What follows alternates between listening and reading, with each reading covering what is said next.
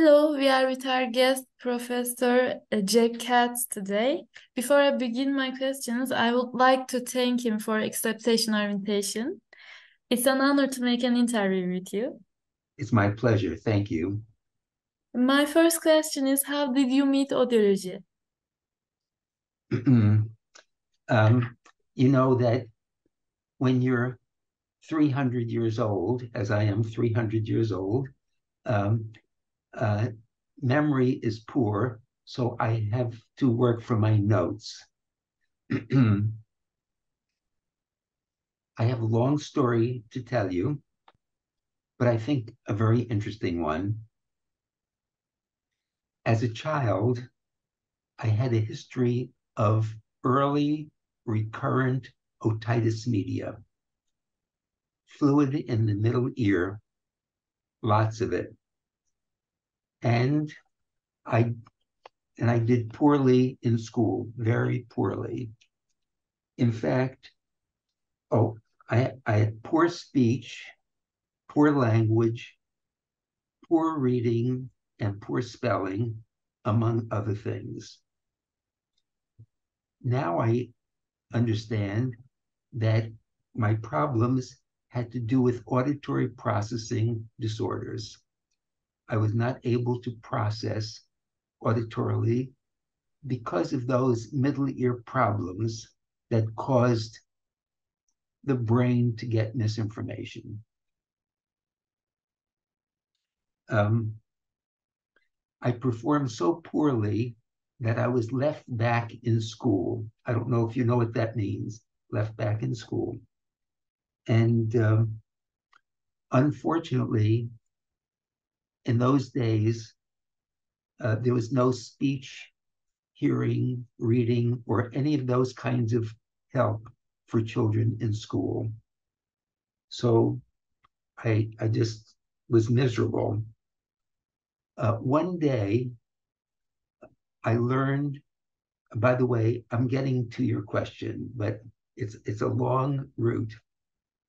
um, one day, I heard that there was such a thing as mental retardation.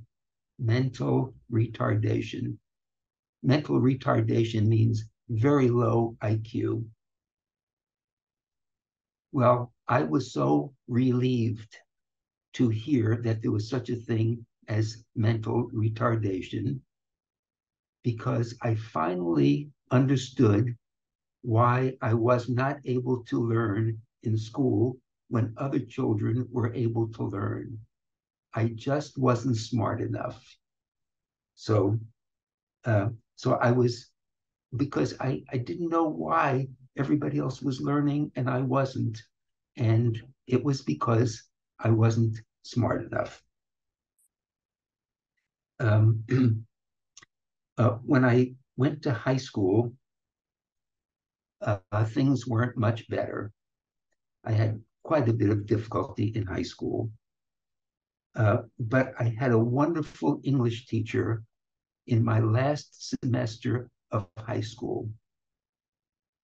And she said that she previously had been a guidance counselor.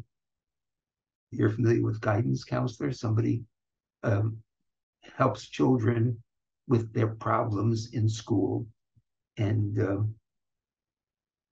she asked us to write a composition about ourselves. And from what we wrote, she might have a suggestion to us for what field we might go into when we go to college. Well, maybe I should stop right there for a moment. Uh, I was not planning to go to college. Uh, when I turned 15, I was doing so poorly in high school that I was going to quit school. But you're not allowed to quit until you're 16 years old. But I told my parents when I turn 16, I'm going to leave college and get a job. Mm. Um, my parents were very, very upset by that. And one day, my father called me and said, Mr. Cohen is here to speak with you. Mr. Cohen, my father was a house painter, and Mr. Cohen worked with him. I said, Mr. Cohen is here to speak to me. Couldn't understand that. Uh, I said, why is here? Why does he want to talk to me? He said, I don't know. My father said, I don't know. Talk to him. So I saw Mr. Cohen and he said, I understand that you want to quit school. I said, yes, I'm, I'm doing so poorly in school. I'm not getting anywhere.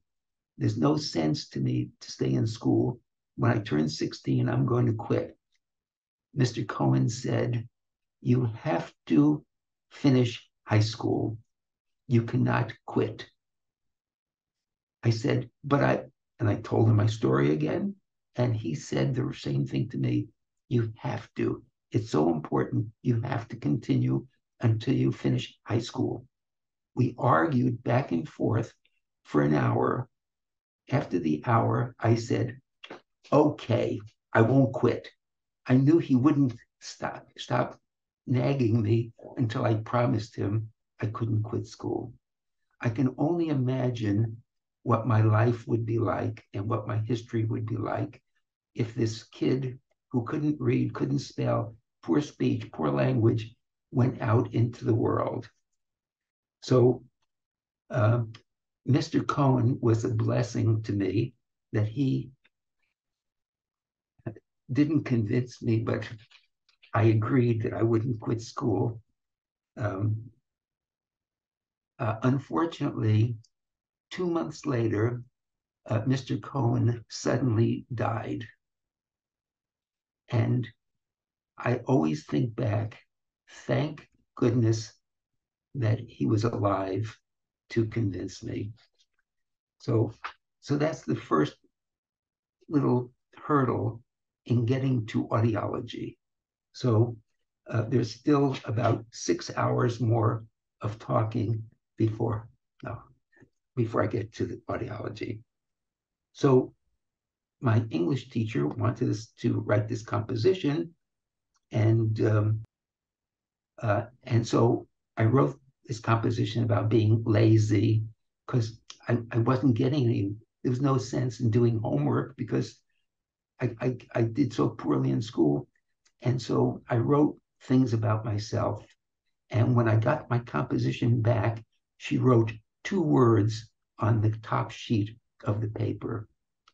But I was so poor in reading, I had no idea what the words were. So I took them home and asked my brother, who was a good reader.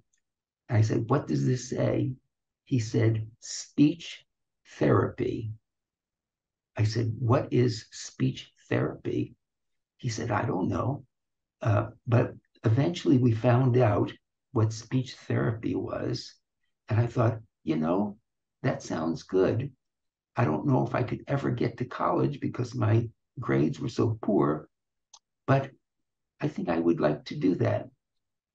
Um, so um, I applied to a, a college, and uh, and in order to get into the college, they looked at your grades, and they were awful, and you you had to take a test, and so I took the test. I don't know how I did, and eventually I learned that I was I made the cutoff score and I was accepted into the college. I made it by a quarter of a point. I only had a quarter of a point. Now, I should mention that in that school, they lowered the score, the entrance score for boys compared to girls, because there were so many girls in the school, too few boys. They wanted to get more boys in school, so they lowered the entrance score. So, so I was so fortunate because I only made it by a quarter of a point. I never would have made it otherwise. There are so many things in my history that, that got me to audiology, and you'll see that it eventually will get there. But there was no chance of audiology uh, so far. So I um, so I got into college and I didn't do too well, but I did well in my speech and hearing classes.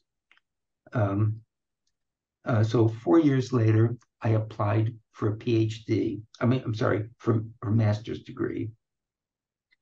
And I was accepted by two schools on condition. On condition means that they wouldn't accept me until I showed that I was able to do it. And so I had to take two courses and I had to do well in them. I did very well in the courses, and so I was accepted. Uh, and then I finally graduated with a master's degree. Um, uh, a year or so later, I applied for a PhD, and um, uh, when I was accepted, um, they wanted to know what my major was going to be. And I had a choice of speech or hearing. And I said speech because so much of my background was in speech. Very little of it was in hearing. Um, so uh, everything went well. I was a I was a good student, very good student, and uh, in both speech and hearing. Uh, after about a year and a half, um, I decided to start working on my dissertation. And um, my major professor said, What do you want to study? I said, I want to study phonemic synthesis. And then I told him what phonemic synthesis was. It was a test and therapy um, that I had used with children with articulation problems. And I found these amazing results. And I was able to turn it around and make it into a therapy. And those children improved so much. I was so excited by that. The response to me was quick and clear. The professors of speech laughed at me. They thought it was stupid and ridiculous to think that this thing could help anybody, and they wouldn't let me do my dissertation in phonemic synthesis. I was very, very hurt and disgusted and thought I would leave the PhD program, go to someplace else. But then I remembered I had this wonderful professor, and he was an, an audiology professor, and so I switched to audiology. So this whole thing that I was, it, it turned in a, in a in a minute, it turned into audiology. I was not nothing about audiology, and uh, as it turned out, um, uh, audiology has been a joy of my life. So that one little minute when I thought of going into audiology uh, made all that difference. And all those other things, if, if those things didn't happen, this could not have happened. That's the answer to my first question, to, to your first question.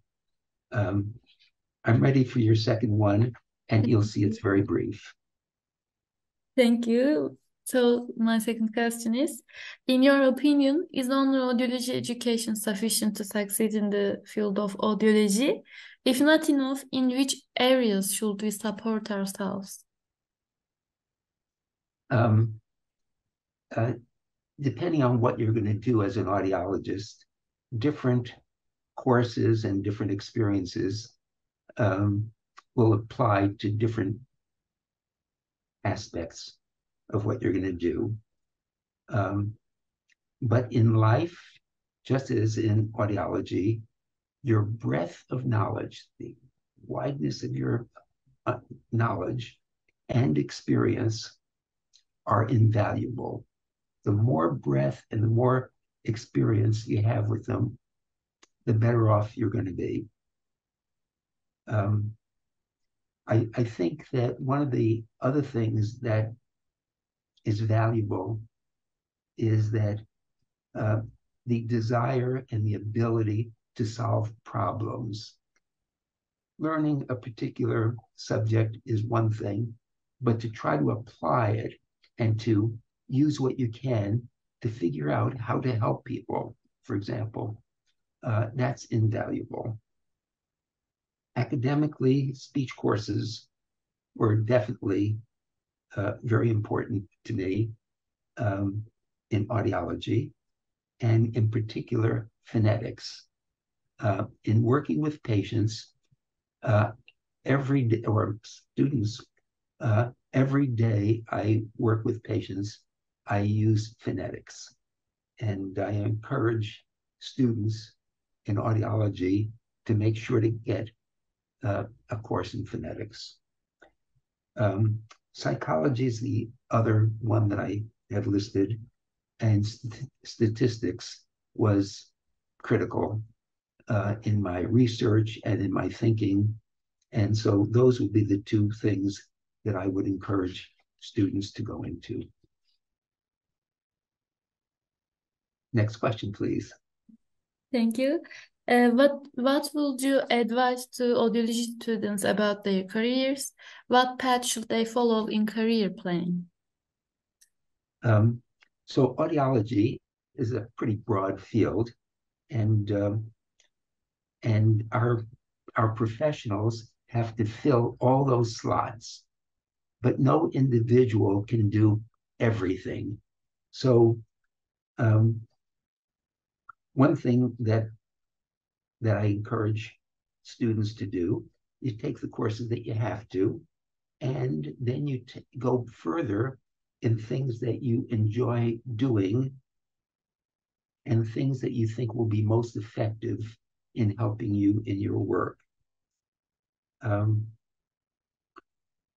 my recommendation to students is that initially be as broad as you possibly can. Take courses in all different areas, and you're required to, as much as you can. And then, as you start to get a further in school, start to narrow down what you're go- what you're studying, and uh, eventually, and when you get up, you might even specialize in one area. And that's what happened to me. There was no such area as auditory processing, but I had this broad knowledge. I narrowed it, and then I got into this, and I really concentrated on it. So, um, because of the experience and knowledge, I was able to develop tests like phonemic synthesis and the SSW test. And both of them are widely used um, in many countries around the world. Um,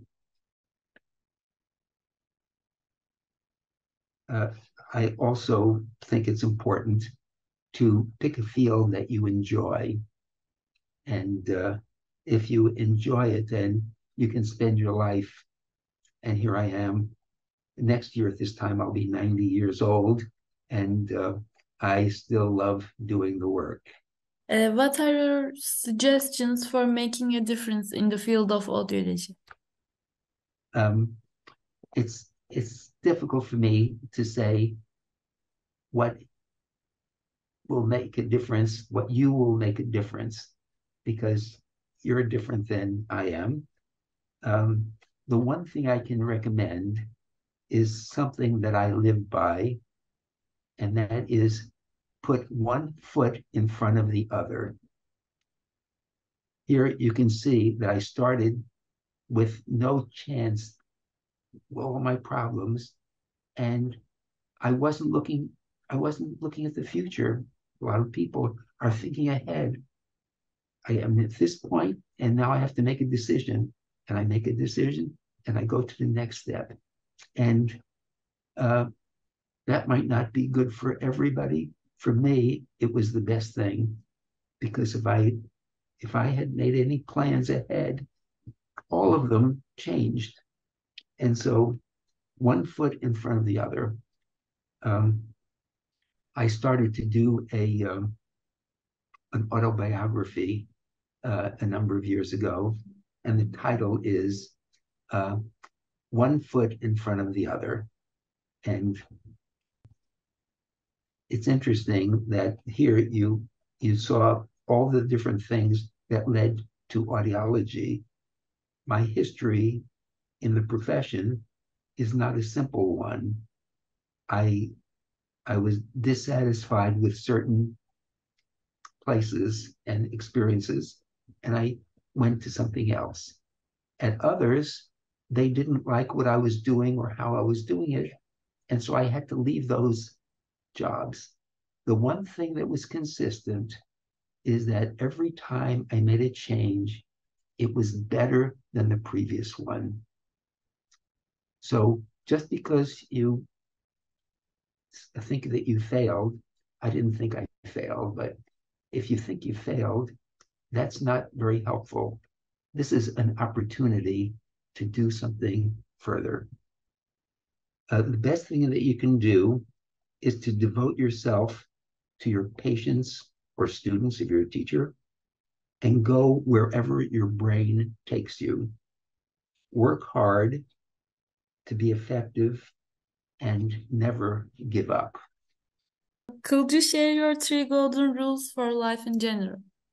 I am so pleased to share it with you. Um, the first thing is my great grandmother. So she lived in the middle 1800s before either of you were born, right? Yeah, okay. And she was a volunteer social worker. And uh, at that time, there were no social workers, it was not a profession. But she would do so many things to help out people. And she was very wise. She said, You never know why people do the things they do. But if you did, you wouldn't be angry with them. To me, it's amazing that somebody in the middle 1800s had such insight into things following the Second World War. I, have heard that from from professionals, but from that was amazing, and uh, I I think I live by that also, and that um, that helps me to work with anybody, whoever it is. Um, I I look at the good parts and I don't pay attention to the bad parts. I help the people or I work with people, and um, uh, it helps me and it helps them. Um, very often, when I have a student that's not very polite or something, and I make a, a good influence on them, I see that it changes and that and that patients follow. If you're kind to people, is it very likely that they will be kind back? Um, so that was the first thing. Sounded a little bit long, but next one is my mother was a very wise and caring person. She taught us that it is a sin to waste. It is a sin to waste. Now, I don't know if she thought of this years ago or if it was during the Depression. We had a depression here in the United States, uh, and um, um, I don't know when it came. Um, but uh, I follow this, uh, my mother's rule that uh, I don't waste paper and I save paper. I do things to save it. I don't waste electricity. I don't waste um, anything that I can possibly, and I try not to waste time. and this paid huge, huge dividends professionally. Um, when you give a word recognition test, are, are you familiar with word recognition? Discrimination test? when when you give a, a word recognition test and you add up the person's errors and you get a, a number or a percent. And um, um, is there something more that we can get? For example, you give a person a word recognition test and the person gets them gets 100% correct but had long delays before each word so they hear the word say the word jump and the person is looking and jump now the person gets 100% but is that telling you all that you need to know or and all that that test gave you. No, there's much more that you can get out of that. Um, for example, you can look at, at delays as and what they tell you about the person. Um, when I first developed the SSW test, it's a 10 minute test and it gives you uh, 20 different indicators of what the problem is, talking about different parts of the brain when when you give that test. So um, uh, this started when the first study that we did on the SSW test, I had my students uh, test different groups of people. And one day, a student came in puzzled, didn't know what to do. She said, I don't know how to score this. The man got all four words correct upstairs, downtown, and got all four words correct, but they were not in the correct order. She said, How should I score it? I said, I, I don't know, but why don't you put number one, two, three, four under the words so we can think about that later on? So that was in 1962, I guess, 161. And uh, and here we we knew nothing about that. 15 years later, that was one of the four categories of the SSW of the Buffalo model, the Buffalo model of auditory processing.